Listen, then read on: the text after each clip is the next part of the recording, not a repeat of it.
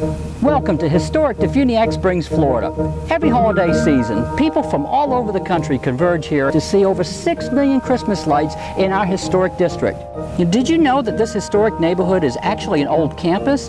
That's right, our historic district is mostly comprised of an old campus built in 1885 for the Florida Chautauqua Assembly, which lasted from 1885 to 1927. There was actually a gate around this neighborhood, and people came here from all across America during the Victorian era to listen to the greatest speakers of the times.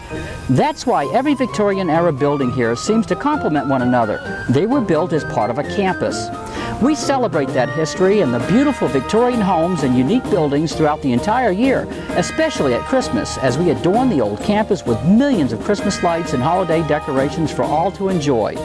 We call this Christmas Reflections because of the way the lights reflect off our beautifully round lake.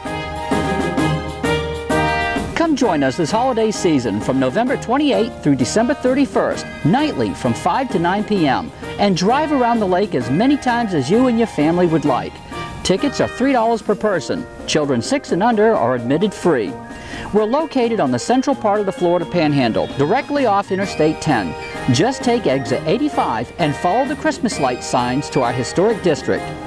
By the way, buses are welcome, and if you'd like a specially guided tour on your bus, just give me a call at the Defuniak Springs Visitors Bureau at 850-333-2241. Ask for Mr. Chautauqua. That's me, and I'll see what we can do for you.